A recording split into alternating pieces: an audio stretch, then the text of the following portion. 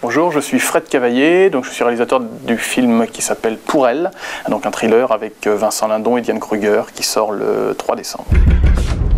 Police, restez pas ici. Oh, qu'est-ce qui se passe? Oh, monsieur Merde!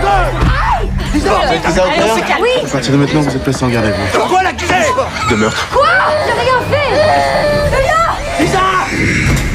Ce qui était intéressant, c'est suivre euh, de manière chronique comme ça ce que va faire ce personnage pour sauver sa femme. Après, passer à l'acte, euh, c'est une chose, mais il fallait toute la préparation.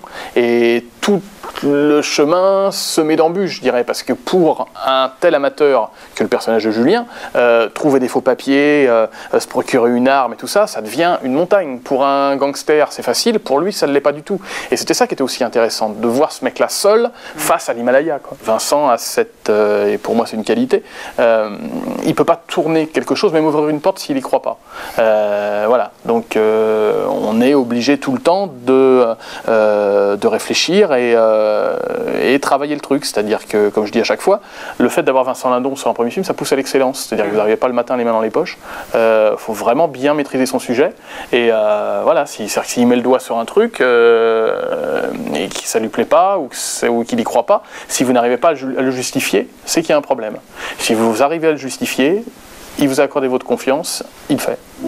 Tu crois qu'on revient maman Bientôt, mon chéri.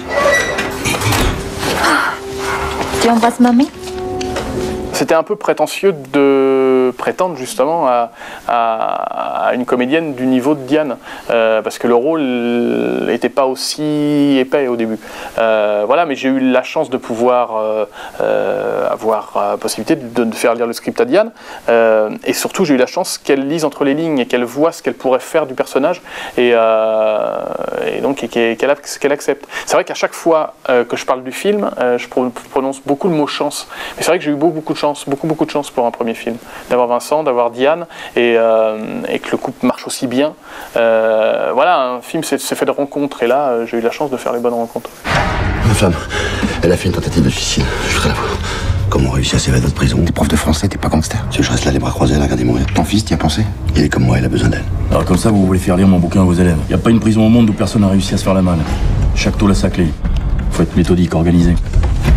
Enfin, la dernière chose sans quoi rien n'est possible, c'est le pognon. Combien? Beaucoup. pour qu'on puisse s'impliquer vraiment, fallait que tout soit crédible. C'est-à-dire que souvent dans le cinéma, euh, les apparts sont trop grands par rapport à, ce, que fait, ce que font les personnes dans la vie. euh, ils roulent dans des trop belles voitures, euh, machin. Là, non, le gars, il roule dans une petite Volvo. il a un appart qui est pas trop grand. Il est meublé avec des meubles qui volent, qui volent pas trop cher. Voilà, pour qu'on y croit, fallait que ça soit crédible. Je voulais pas d'esbrouf, parce que là, de l'esbrouf aurait mis un filtre entre le spectateur et l'histoire. Et, et après, même dans mes goûts en tant que spectateur, j'aime bien quand la caméra est machin, mais souvent, euh, dans les films de James Gray, par exemple, ça bouge assez peu, et euh, je trouve que c'est beaucoup plus fort. C'est-à-dire qu'on est beaucoup plus avec, euh, avec les personnages, et l'action et l'énergie, elle est dans l'image. Elle n'est pas sur le fait que la caméra bouge.